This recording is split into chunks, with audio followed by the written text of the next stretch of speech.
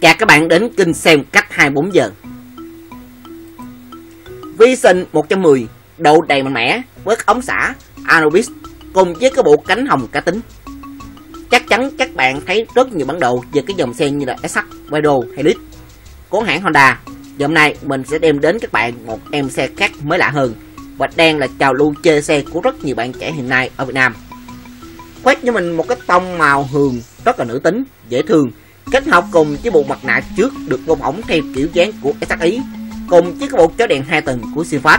Ngoài cải thiện cái độ sáng còn giúp xe trông là lạ mắt, hiện đại hơn. Nhìn xuống cái dàn chân trước, thấy cái phần vỏ phục ở trước, chủ nhân đã phay nhỏ lại để xe trông là gọn gàng hơn. Kết hợp cùng với dòng cover được bấm dầu CC kết nối cùng heo, Rainbow, logo lớn, hai bên xứng. Và bên cạnh còn có đĩa cover 260 mm hai món đồ chơi làm thêm cái phát giải phòng xì CC để bắt vào xe dễ dàng hơn. Cái phần chạm nhấp sau được biến tấu từ đầu sim được nâng cấp lên cái phục Quad S kết hợp cùng với bình dầu rời, có cấu tạo là tì đò so lớn hơn, để cho xe trong hầm hố, lắp đầy khoảng trống với gầm xe tốt hơn chịu tải cũng tốt hơn và tránh sàn lắc cái phần đô cực tốt. Quad S thương hiệu đến từ Lan được rất nhiều dòng xe ưa chuộng điển hình hiện nay. Winner Viral, Tip, Trader, vân vân. Hai thảo được trang bị cable Anubis Evo thường được dụng cho những dòng xe có dung tích động cơ là dưới 250 khối. Tuy nhiên, ngoại hình cũng gọn gàng, sang trọng. Sản phẩm đem lại thứ âm thanh quy lực. Mỗi lần cô chủ nó lên ca lớn để đi chợ cũng là nhanh hơn. Nhìn xuống bánh căm càng trở nên em ấy giản đơn hơn, trọng lượng nhẹ hơn, càng làm chiếc xe phù hợp hơn chế phái đẹp nhiều hơn. Và đây là góc ảnh đẹp. Có chú ngựa hồng cùng với cô chủ của mình.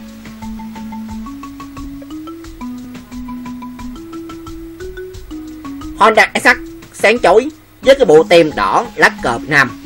Cái mẫu xe Honda SX vẫn coi là một dòng xe tay ga cao cấp số 1 ở Việt Nam. Không chỉ là dòng xe tay ga cao cấp mà được người dân ưa chuộng.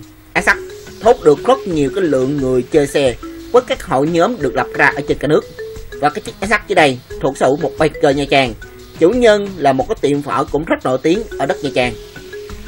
Cái dàn đầu xe độ được trang bị rất nhiều chi tiết món đồ chơi như bao tay Spider, cù xéo, Risuma, ta thắng CC cạc Bomber làm cái điểm nhấn nó bật cho cái phần đầu xe.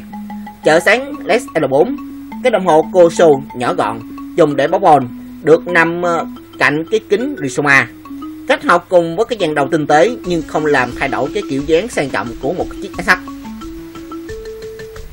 Và đây là tổng thể dàn đầu đầy tinh tế. Nếu như đồng hồ nguyên bản theo xe đã ghi nhàm chán thì bị chủ nhân thay thế bằng cụm hồ Koso SN với đủ những thông số báo xăng, ô đồ, tù máy.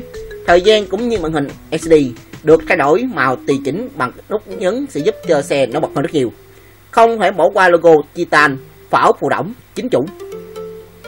Cái vết che các nước được CNC và tạo hình cái cánh quạt đang cũng rất đẹp mắt. Cái bộ Gran Turismo đem lại thức âm thanh sống động hơn cho con chiến mã.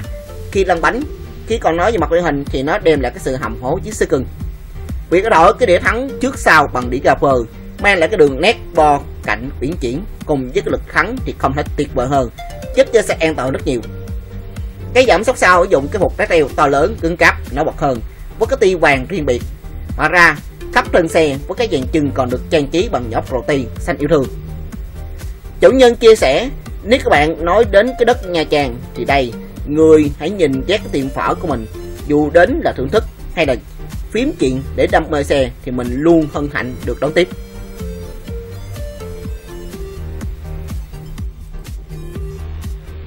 Cảm ơn các bạn theo dõi clip này được tiếp nhớ like, subscribe.